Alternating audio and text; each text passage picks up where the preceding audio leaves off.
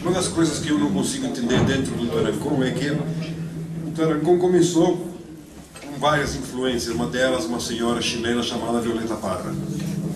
Violeta Parra era uma mulher muito, é, hoje medicamente seria uma pessoa hiperativa.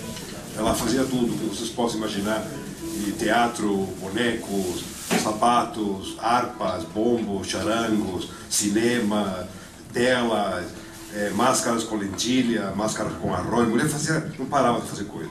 Mesmo doente, quando ficava doente, aprendeu a costurar com, sei lá. É muito rica a obra da Violeta Parra. E é uma, uma é conhecida no mundo inteiro pelo Graças à La Vida. Todo mundo ouviu falar da música Graças à La Vida. Mas tem dois lados delas assim que são um pouco, muito pouco difundidos, divulgados, espalhados, né?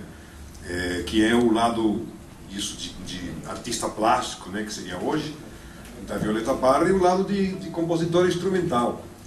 E mesmo a gente, com o tempo, foi, foi até esquecendo isso. A gente fez um show com a neta dela, com a Tita Parra, e voltaram umas coisas. E ela ficou muito feliz que o Tarangão sabia fazer umas músicas instrumentais de Violeta. Não, por aí não, ninguém sabe que música instrumental de Violeta. Então nós vamos fazer uma música chamada Calambito Temucano. É isso? E que seja o que Deus quiser.